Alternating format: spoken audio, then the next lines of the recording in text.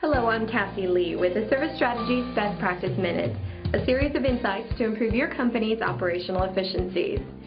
Service Strategies provides industry standards, consulting, and training solutions that help companies deliver consistent, high-quality customer service and support. Service Strategies benchmark service capability and performance, or SCP standards, are considered the industry roadmap for service excellence. Today we'll explore the problem of call deflection and the eService Standards statistical method for measuring the effectiveness of your web self-service offerings. Here's the problem. You're having a hard time determining if your website is meeting the needs of your customers. You need to calculate service deflection, but you don't have a standard method for measurement.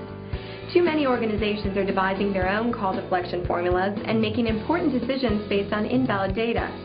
Service Strategies has a solution for accurately measuring call deflection. First, you need to evaluate unassisted interactions.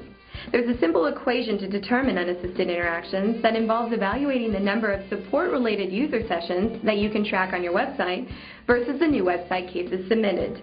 These are customers who visited your website and didn't find the answer they needed, so they submitted a web inquiry form.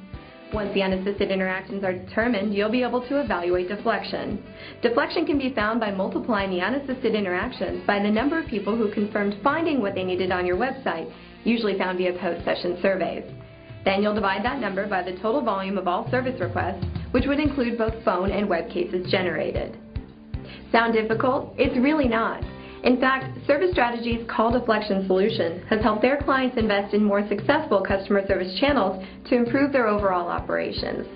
For more information on call deflection and the SCP eService Standard Proven solution, click on the link below and download a presentation. Thanks for watching this Service Strategies Best Practice Minute.